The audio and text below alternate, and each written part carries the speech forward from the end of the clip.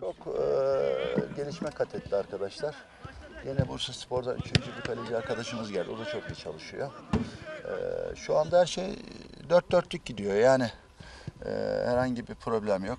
Sakatlık, hastalık yok. Her şey yolunda. En önemlisi de o zaten E sakatlık tabii yok şu anda hepsi kampta. iyi gidiyor. Ee, Allah nasip eder de playoff'a kalmadan Lig. ligi gösteririz diye düşünüyoruz. Ee, ama tabii takdiri ilahi artık bir, iki, Allah'ın hakkı üçtür. Bu sefer inşallah olur.